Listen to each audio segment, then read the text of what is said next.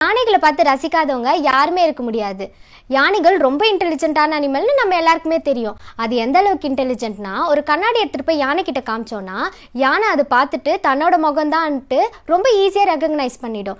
இது எல்லா அனிமல்ஸாலையும் பண்ண முடியாது. தன்னோட கூட்டத்தில் இருக்கிற ஏதோ ஒரு யானைக்கு உடம்பு சரியில்லாமல் போச்சுன்னா இல்லை அடிபட்டுச்சுன்னா மற்ற யானைகள் அதுக்கு சாப்பாடு எடுத்துகிட்டு போய் கொடுத்து ரொம்ப பத்திரமா பார்த்துக்குமா. ஒரு யானை ஒரு நாளைக்கு நூற்றி ஐம்பது கிலோ சாப்பிடுமாம்.